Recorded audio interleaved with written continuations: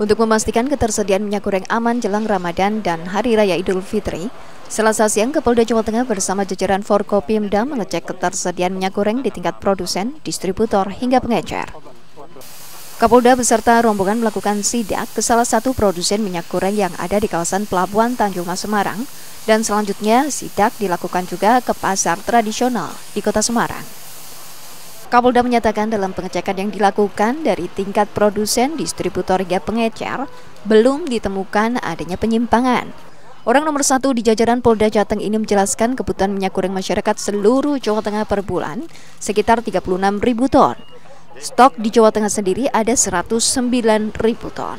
Stok ini cukup untuk memenuhi kebutuhan masyarakat Jawa Tengah hingga tiga bulan ke depan. Hasil pengecekan yang kita lakukan, baik di tingkat produsen, distributor, sampai tingkat pengecer, tidak ada penyimpangan. Belum kita dapati penyimpangan.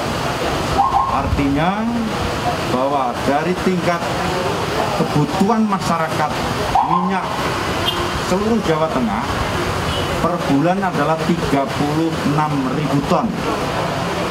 Kemudian stok Jawa Tengah kita punya 109 ribu ton. Artinya bahwa stok untuk tiga bulan ke depan berdasarkan data yang kita lakukan pengecekan cukup untuk kebutuhan masyarakat. Sementara itu, Wali Kota Semarang Indra Prihadi menghimbau agar masyarakat tidak panik buying. Beli sewajarnya saja agar permintaan dan suplainya bisa seimbang. Selain itu, Wali Kota Semarang juga menyampaikan jika ada kejanggalan, warga bisa melaporkan ke tim Satgas Pangan.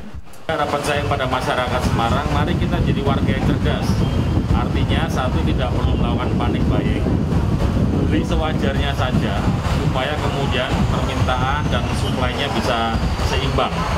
Yang kedua, kalau memang ada main-main di lapangan, kemudian susah dapat ini minyak goreng bisa dilaporkan ke Satgas, Satgas Pangan.